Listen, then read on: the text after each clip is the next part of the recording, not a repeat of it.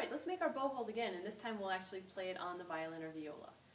I set my violin or viola on the floor to start so I can use two hands to make a really good bow hold. I'm going to do the same things I did in the previous video.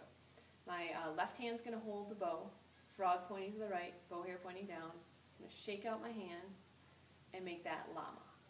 Okay? Now the corner of my thumb is going to go right where the frog and the stick meet each other.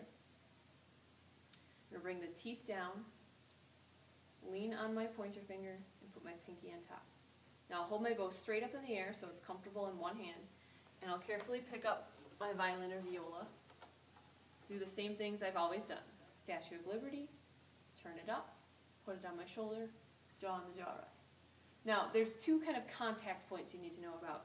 The best place for the bow to drive is right where, right in between the bridge and the fingerboard. So like right here is the best place for it to drive. And then the contact point on the bow is going to be about halfway. Not exactly halfway, but about halfway is a good point for, for your bow to start driving at. So I'll make my bow hold again. Put my instrument up. I'm going to set the bow on the string, and using my elbow to move, I'm going to make my bow say the same rhythm we did in the last video. Tucka, tucka, stop, stop.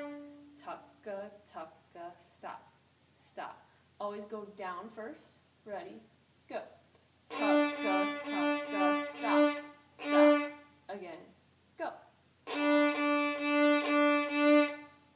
Now you'll remember I said to use the elbow, not the shoulder. If you use your shoulder, it looks and sounds like this. That doesn't sound very good. So you want to make sure you're using your elbow. If you don't like your sound, maybe try a little more um, weight from your first finger. Your first finger has all the power, so let it push down a little bit more. Ready? Go. Keep working on tucka tucka stop stop on the D string because it's the building block that's going to build almost all of the songs we play at our very first concert.